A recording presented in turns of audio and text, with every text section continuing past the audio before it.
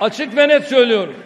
Hiçbir güç, hiçbir tehdit bizi Filistin'in ilk kıblemiz Kudüs-ü Şerif'in hukukunu korumaktan alıkoyamaz.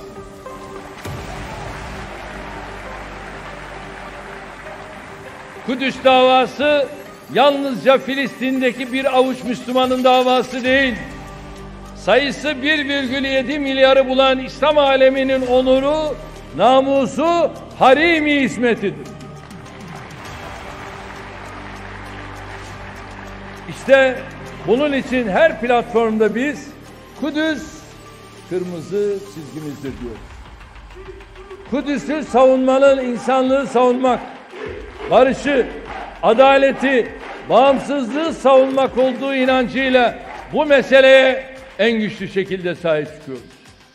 Holokosta nasıl bakıyorsak Gazze'yi açık hava hapishanesine çevirenlerin işledikleri katliamlara da aynı nazarla bakıyoruz.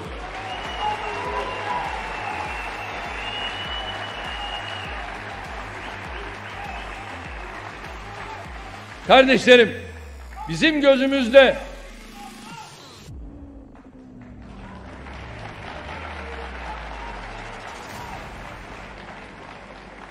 bizim gözümüzde Muhammed Dura ile işgale direnen Rachel Corrie arasında bir ayrım yoktur.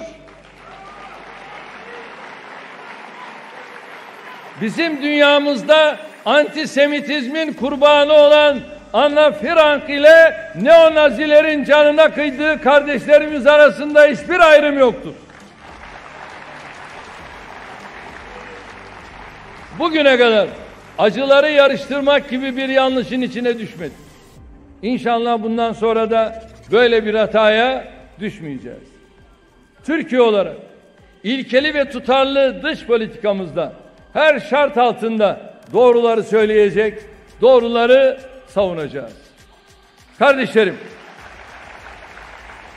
Türk-Amerikan toplumunun siyasi alanda daha fazla rol üstlenerek eyalet ve federal düzeydeki temsil durumunun artması samimi arzumuzdur. Bugün böyle bir müjdeyi de aldık. Temennim odur ki bu gerçekten gerek federal parlamentoda gerekse yerel inşallah meclislerde kendini gösterir. Sizlerin Amerikan siyasetine aktif katılımını hem Türk-Amerikan toplumunun karar alma mercilerindeki etkinliğini artırması hem de Türk-Amerikan ilişkilerine yapacağı katkılar bağlamında önemsiyoruz. Ancak bunun için toplumumuzun birlik ve beraberlik içinde hareket etmesi gerekiyor. Bu olmadığı takdirde elde edilen başarıların, gösterilen çabaların bireysel düzeyde kalması kaçınılmazdır. İki ülke arasındaki müttefiklik ve stratejik ortaklık ilişkisine yaraşır şekilde üzerimize düşeni yapıyoruz, yapmaya da devam edeceğiz. Sizlerin de ülkemizin bu tutumunun Amerikan kamuoyuna aktarılmasına yönelik çalışmalarınızı memnuniyetle takip ediyor ve destekliyor. Bizler hepimiz ortak bir medeniyeti, ortak bir tarihi paylaşıyoruz. Bizim ortak tarihimizde asr-ı saadet var. Bağdat, Endülüs var. Afrika'nın, Asya'nın, Orta Doğu'nun muhteşem medeniyetleri var. Bizim ortak tarihimizde tüm insanlığın yolunu, ufkunu aydınlatan Biruniler, Farabiler, Mevlana'lar, İbn Sina'lar var. Hiç kimse bizim binlerce yıllık kardeşliğimize leke süremez. Şii, Sünni, siyah, beyaz, Arap, Türk, Kürt, Farisi diyerek kimse bizi bölemez.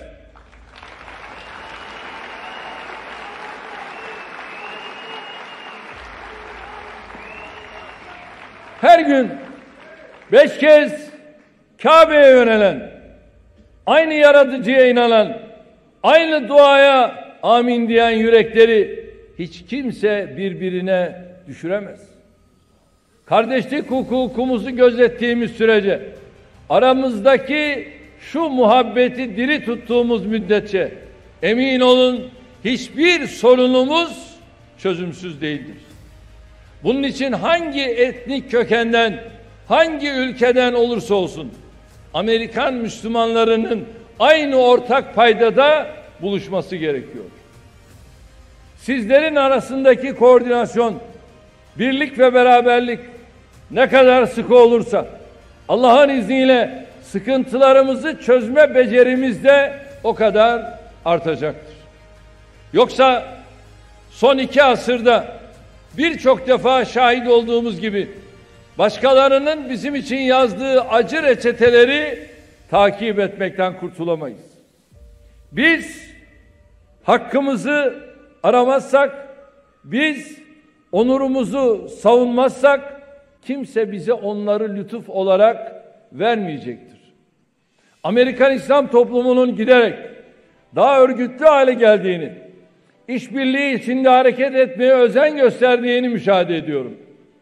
Kongre üyelerinin de Müslümanları daha görünür ve etkin şekilde temsil yolunda attıkları adımları memnuniyetle karşılıyorum. İnşallah Türkiye olarak biz de sizlerin yanında olmayı sürdüreceğiz.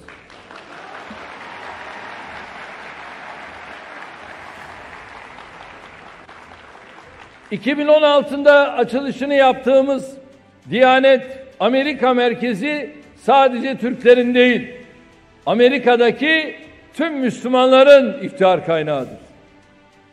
İnşallah merkezimizin kısa sürede Amerikalı Müslümanların buluştuğu, kaynaştığı, kardeşliklerini tazelediği bir mekana dönüştüğünü görüyoruz. Böyle bir ihtiyacı giderdiğimiz için kendimizi bahtiyar sayıyoruz. Arzumuz ve temennimiz Müslümanlara yakışan bu tür merkezlerin sayılarının tüm Amerika genelinde artmasıdır. Kardeşlerim, 11 Eylül terör saldırılarının ardından sizler oldukça çetin bir sınav verdiniz. İbadethanelerin tehdit kaynağı olarak görüldüğü, insanların sırf isminden, dış görünüşlerinden, kılık kıyafetinden, inancından, sakalından, başörtüsünden dolayı horlandığı sıkıntılı günler yaşadınız. Bu haksızlıklara karşı mücadelenizi yürütürken hiçbir zaman hukuktan, meşruiyetten, demokrasi zemininden ayrılmadınız. Rabbimiz mukaddes kitabımızda sizin hayır bildiklerinizde şer, şer bildiklerinizde hayır olabilir buyuruyor. Her imtihan doğru değerlendirildiğinde aynı zamanda bir imkandır. Mevla 11 Eylül sonrasındaki o sancılı dönemi Amerikalı Müslümanlar açısından eşsiz ilahi rahmetiyle hayra tebdil etmiştir.